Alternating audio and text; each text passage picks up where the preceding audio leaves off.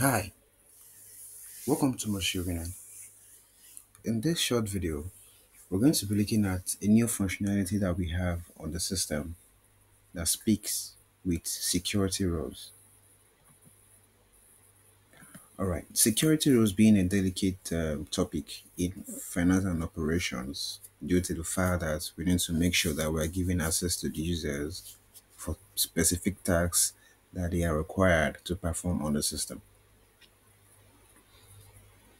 There are instances where we need to um, get access to a particular menu item or a particular process and give it to a user.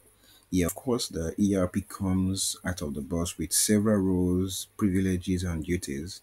Sometimes we would like to break down these roles or privileges or even duties and give just part of these privileges to a user.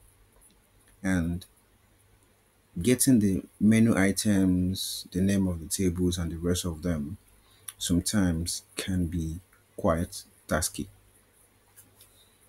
With a new functionality on the system administration module, securities, and then security diagnostics for task recording, we can easily identify the menu items that are needed to give access to user to perform a particular set of tasks or business scenarios on the system. First of all, we will need to have a recording using the task recorder. So say for instance, I want to be able to identify the different roles that or the different duties, menu items that come into play while creating the customer. So I'll start my task recorder, come to settings, task recorder, then I say create create recording. So here, for instance, um, I want to be able to create a fixed asset.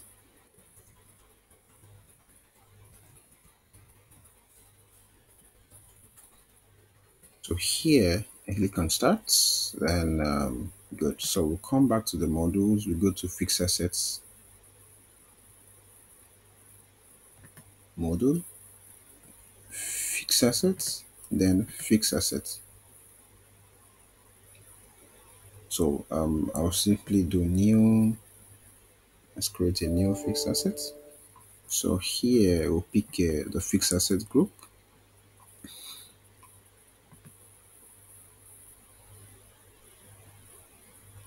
So I'll just name this my fix asset. Right. So I think uh, these are the basic things that we need to select while creating a fixed asset. Or I haven't done this, I can decide to, I can stop the recording, right? Click on stop. Then um, here we're going to save to this PC. We can as well save as a developer recording. Both of them works uh, because we're going to upload this recording later into the system to be able to get the necessary menu item or permissions to perform this task. Having done this, I can close my task recorder, then go back to system administration module, uh, securities, security, then security diagnostic for task recording. So here, I'm going to upload my recording and the system will tell me the menu item that is required for me to be able to access and create a fixed asset. So here, it's telling me that the menu item required is asset table, right? On this page, I can pick different users and the system will tell me if these users have access to this menu item or not. So say for instance on this drop down, I pick Alicia. Now, this simply means that Alicia does not have the permission to create a fixed asset. That's what it means. So how uh, I can easily decide to see the roles or duties that contain this menu item display which is asset table. So click on add reference. The add reference shows the role. So uh, when you give uh, Alicia the auditor role, for instance, Alicia will be able to create a fixed asset. So these are all the roles that contains or that have access to a creation of a fixed asset. And down we have duties, then we have privileges. On the privileges, we have view asset record. It simply means that when you assign this privilege to Alicia, Alicia will be able to create fixed assets on the system. Now, this comes handy when we have customizations that are done on the system. When customization are done by the developer, the developer will need to communicate the different menu items that have been done, be it a display menu item, an output menu item, or an action menu item, which cannot easily be recognized on the system on the URL.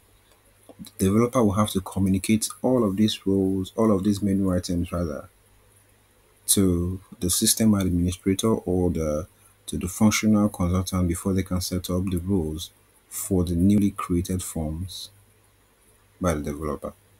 Now, with this security diagnostics, anybody that has access to these menu items or to this form can simply upload the recording and through the recording you get all the menu of the display menu items, the action menu items and even the output menu items and with that you can create your own custom roles, add your privileges, then assign the different permissions, then give this role to the user.